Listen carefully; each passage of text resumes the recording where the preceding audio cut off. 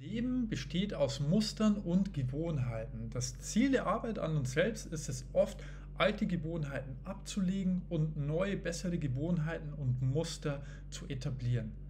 Manchmal ist es gar nicht so klar, ob wir jetzt gerade in einem neuen Muster sind oder ob wir uns wieder in dem alten Muster befinden, das wir eigentlich loswerden wollen. In diesem Video werde ich dir erklären, wie du erkennst, dass du wieder in einem alten Muster steckst und wie du aus diesem alten Muster herauskommst.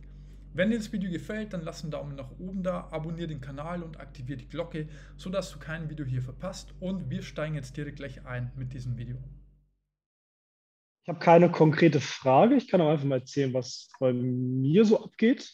Ja. Ähm, und bei mir ist es gerade so, dass ich besseres Bewusstsein dafür bekomme. Ich nenne es mal zu dem Thema der alte Jan, der eben komplett in diesen Konditionierungen gelebt hat. Der alte, der alte Jan. Der, der alte Jan, genau, der eben komplett nach gesellschaftlichen Kriterien gehandelt hat, ähm, ne, wie man eben so aufwächst hier. Und ich merke aber jetzt viel, viel mehr, wie so der, der wahre Kern in mir hervorkommt durch diese ganze Arbeit eben. Ähm, kann ich jetzt mal ja, ein gutes Beispiel geben? Ich sage mal zum Beispiel jetzt hier die Nachbarin, die ich mal angesprochen habe gegenüber, die habe ich jetzt vor ein paar Tagen unten getroffen. Und der alte Jan, der wäre halt in dieser Situ sozialen Situation, der hätte super schnell versucht, da irgendwie zu entkommen, zum, zum Großteil. Aber einfach durch gewisse Ängste.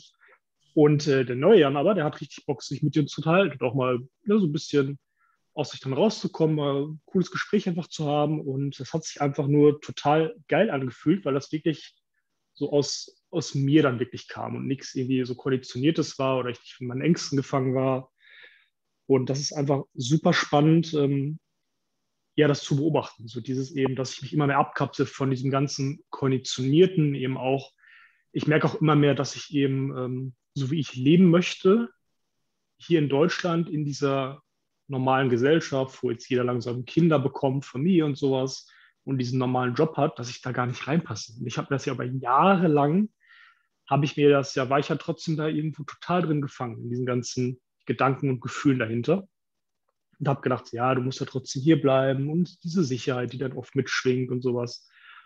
Und es ist einfach total cool, so dieses, äh, diese Abkapselung da langsam zu spüren. Auf der anderen Seite ist natürlich auch noch so, dass ich ähm, oftmals natürlich noch ins alte Muster reingerate. Mhm. Ähm, ist da manchmal nicht ganz so einfach, das Bewusstsein in dem Moment zu haben. Zum Beispiel jetzt hier in meiner Wohnung ich bin ja, also ich bin generell ein Mensch, ich bin ja schon auch mal ganz gerne alleine, habe Zeit für mich. Aber da fehlt mir teilweise noch diese Differenzierung, so wann bin ich gerade wirklich alleine für mich, weil ich Bock drauf habe, oder bin ich gerade einfach alleine, weil ich wieder mein altes Muster gerate. Das alte Muster war zum Beispiel, dass ich eben ähm, gar nicht rausgegangen bin, weil ich eben soziale Ängste zum Beispiel früher hatte und mich dann so in meiner Bude verkrochen habe. Im Grunde genommen. Da fehlt noch ein Stück weit diese Differenzierung, wann ist es ähm, wirklich, wann bin ich gerade so total in einem alten Muster? Oder bin ich da gerade einfach zu hart und denke mir so, hey, solange ich gerade das Bewusstsein habe, dass ich eventuell im alten Muster bin oder auch nicht oder es gerade einfach nicht weiß, ähm, reicht das vielleicht auch schon aus. Das war doch jetzt eine Frage im Endeffekt, was ja, darauf gekommen äh, ja. Was ich ähm, erstmal, ich, ich, möchte dich mal fragen, was kann dir denn einen Hinweis darauf geben, ob es das eine oder das andere ist? Äh, puh. Hm, mit Sicherheit, wenn eine gewisse Story in meinem Kopf abläuft. Zum Beispiel. Und ich einfach nicht das Bewusstsein habe. Ähm, zum Beispiel kommen irgendwelche Gedanken so, hey, wenn du jetzt rausgehst, ganz banale Gedanken, fällt mir gerade so echt ein.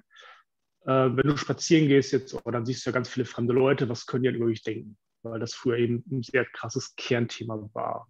Dass, dass ich dann aus dem Grund sage, so, hey, okay, dann gehe ich jetzt nicht raus. Mhm. Was, ja? was geht mit dieser Geschichte automatisch einher? Mhm. Du meinst jetzt in dem Bezug, was andere über mich denken können. Mhm. Mhm. Sicherheit, dass mir ein gewisser ähm, Selbstwert noch fehlt, auf mich selber bezogen, dass immer noch ein Teil von mir versucht, im Außen zu beziehen. Mhm. Und auf der Gefühlsebene? Wie sieht es denn da auf der Gefühlsebene aus? Auf der Gefühlsebene will ich wahrscheinlich die auf einer gewissen Ebene diese Anerkennung oder Liebe von Menschen bekommen. Dieses Gefühl, gut ja. genug zu sein. Und jetzt, jetzt, jetzt stell dir mal, oder ich möchte mal anders fragen, stell dir mal eine Situation vor, ähm, wir tun mal so, du wärst gerade zu Hause und du bist wirklich zu Hause allein für dich, weil du gerade Lust hast, allein für dich zu Hause zu sein und nicht aus Angst rauszugehen und in eine soziale Situation zu gehen. Wie würde sich das anfühlen? Hm, da wird auf jeden Fall gar kein Widerstand hochkommen. Und ja. diese Story wäre auch gar nicht in meinem Kopf aktiv. Wahrscheinlich. Und also ich persönlich, ich, ich versuche immer bei in solchen Situationen aufs Gefühl zu schauen. Es gibt meistens, also es gibt natürlich immer unzählige Möglichkeiten, aber wenn man es jetzt einfach mal in Schwarz und Weiß darstellen möchte, dann gibt es zwei grundsätzliche Möglichkeiten. Die erste grundsätzliche Möglichkeit ist, du bist zu Hause und du bist irgendwie in Frieden mit dir selbst. Das bedeutet nicht, dass du dich total gut fühlst, dass du to total happy bist. Es kann auch sein, dass du zu Hause bist und traurig bist oder wütend bist oder XYZ bist. Es kann sogar sein, dass in deinem Kopf gerade, was weiß ich, für eine Story abgeht. Aber ich sag mal, wenn eine gewisse Grundzufriedenheit da ist, eine Grundzufriedenheit nicht mit vielleicht dem Gefühl, also auch, aber vor allem auch kein Widerstand dagegen, dass du jetzt zu Hause bist, sondern einfach so, okay, ich bin zu Hause und es ist gerade in Ordnung. Es ist gerade in Ordnung, hier zu sein. Es ist gerade in Ordnung, mit dem Gefühl zu sein. Dann bist du höchstwahrscheinlich bewusst zu Hause, weil du zu Hause sein willst. Wie würde das andere Szenario aussehen? Du bist zu Hause, weil du gerade Angst hast, aus dem Haus rauszugehen, weil du vielleicht Angst hast ähm, vor sozialen Situationen, weil das dein altes Muster war.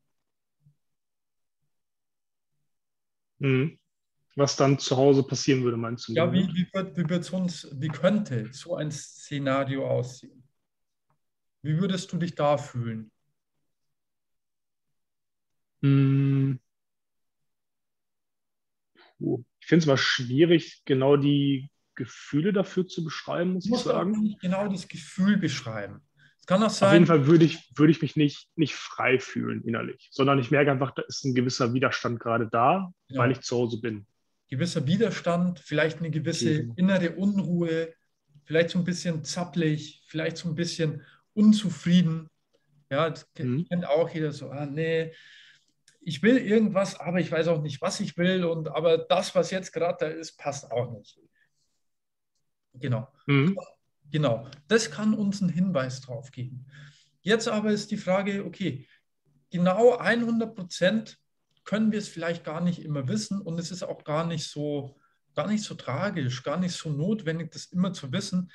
Der Hauptkern dessen, was wir tun können, ist im Prinzip Bewusstsein darüber zu gewinnen. Weil Bewusstsein gibt uns, gibt uns die Freiheit quasi, aus unseren Mustern rauszugehen vielleicht nicht sofort, aber je öfter Bewusstsein da ist, je öfter Objektivität da ist, desto über Zeit gehen wir garantiert aus unseren alten Mustern heraus. Also, ich würde das als Hinweis nehmen, wie fühle ich mich gerade? Und dann einfach mal zu gucken, okay, jetzt bin ich gerade so innerlich, un, innerlich unruhig, innerlich zappelig. Okay, wahrscheinlich habe ich gerade Angst, aus meinem alten Muster rauszugehen. Das bedeutet nicht, dass du dann sofort das Haus verlassen musst, sondern Du also du kannst das Haus sofort verlassen, du kannst rausgehen, du kannst äh, in soziale Situationen gehen, aber du kannst auch einfach nur beobachten und kannst mal gucken, okay, was löst denn das Ganze jetzt wiederum in mir aus?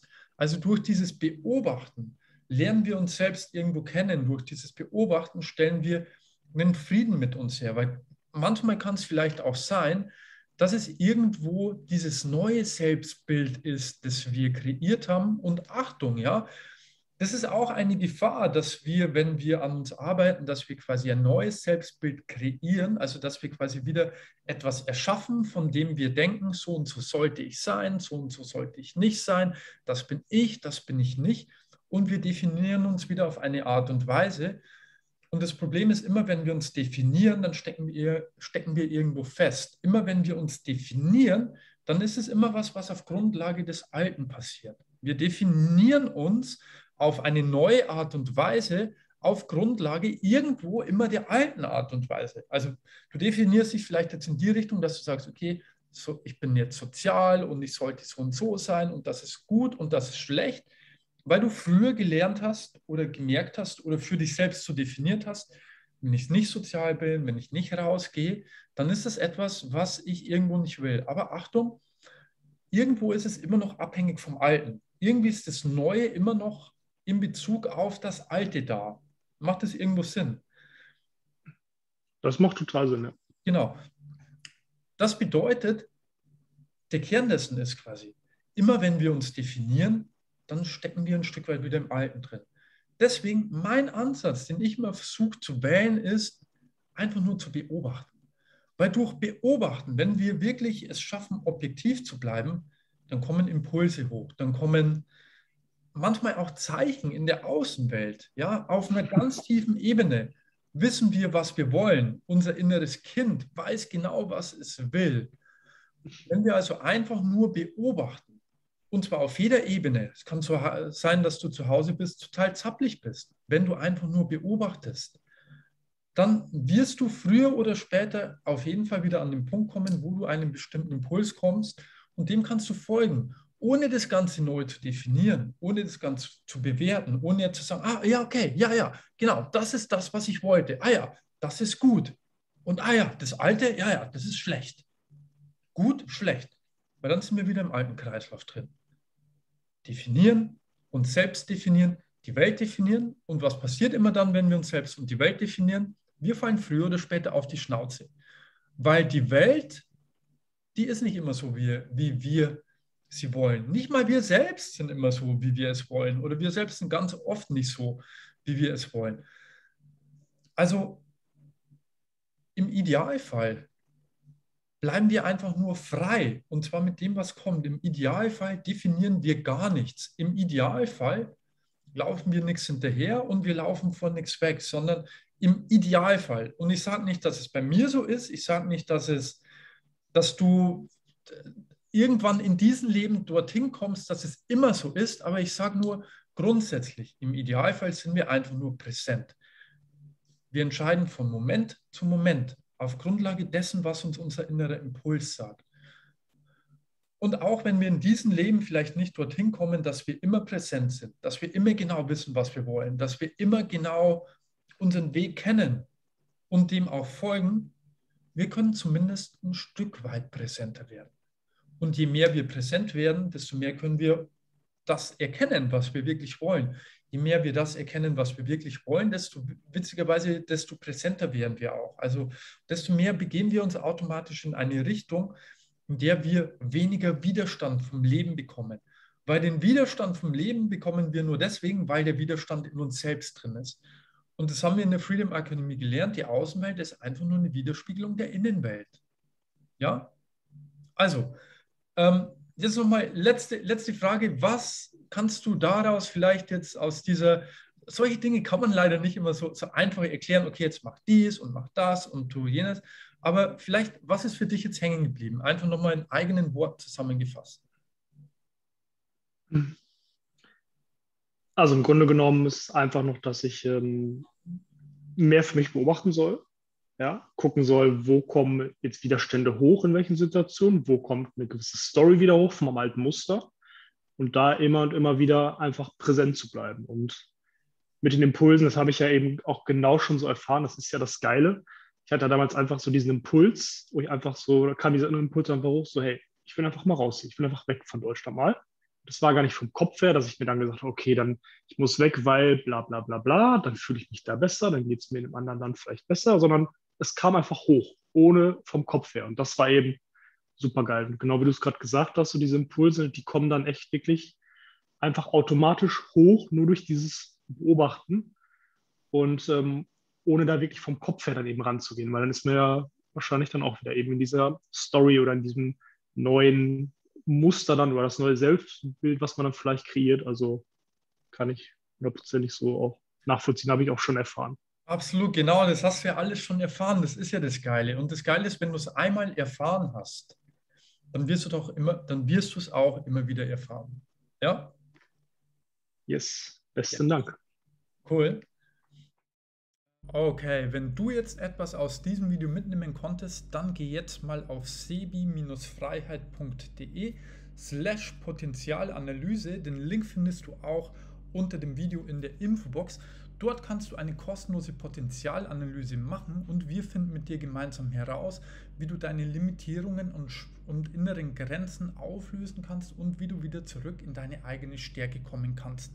Der Test funktioniert ganz einfach. Du kannst, du musst einfach nur ein paar Klicks auf der Webseite machen und am Ende findest du heraus, ob du für unsere Potenzialanalyse geeignet bist. Das Ganze dauert weniger als zwei Minuten. Sei unbedingt mit dabei. Und wenn dir dieses Video gefallen hat, dann lass jetzt einen Daumen nach oben da und wenn du es noch nicht getan hast, abonniere den Kanal. Hier findest du auch noch ein weiterführendes Video. Wir sehen uns äh, im nächsten Video wieder. Bis dahin alles Liebe.